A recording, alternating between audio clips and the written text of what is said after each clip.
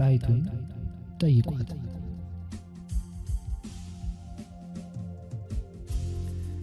ያኔ ድሮ ገና በአያቶቼ ዘመን የፍቅር ትርጉሙ እንዳሁን ሳይዘምን አቤት የሴት ክብር፣ አቤት የሴት ኩራት፣ በራስ መተማመን አትሁን ባይነት አራስ ነብር ሆና መቀነቷን አስራ ድርድር አታውቅም በእምነት ባገሯ።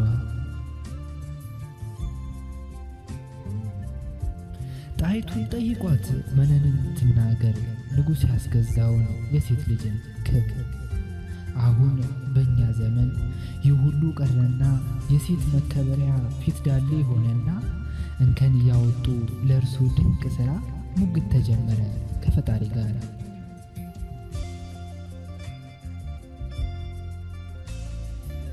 መቼ ይበቃና አንተ የፈጠርከው አይኖቼ ጠባባም መልኬም ጎራዳ ነው። ኧረ ምኑ ቅጡ ቁመቴም ጉቶ ነው። ታዲያ እኔ ልጅት መች ዋዛ ሆንኩና አይኖቼን ቀስቼ አቆምኳቸውና በዱቄት እርዳታ ፊቴን አስዋብኩና heel ጫማ ላይ ወጣሁ ውብ ሴት ሆንኩኝና።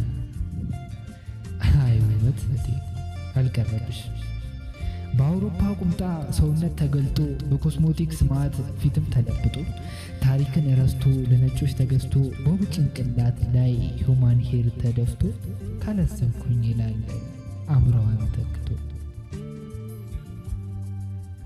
ከድሮ ዘንድሮ ይሻላል ካላችሁ ባህልን ታሪክን ወግን ጠብቃችሁ አሳዩን እንመን እንመስገንላችሁ። ግን ግን በአንቺ እይታ በቅምጥሏ ሴት ሀገሯን ለከዳች በውጭ ዓለም ስደት አንገቷን የደፋች ቀሚስ የለበሰች ኋላ ቀር ገጠሬ ባላገር እኮ ነች።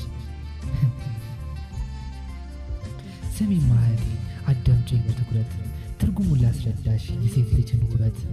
ለእኔ ውበት ማለት ባህል መጠበቅ ነው።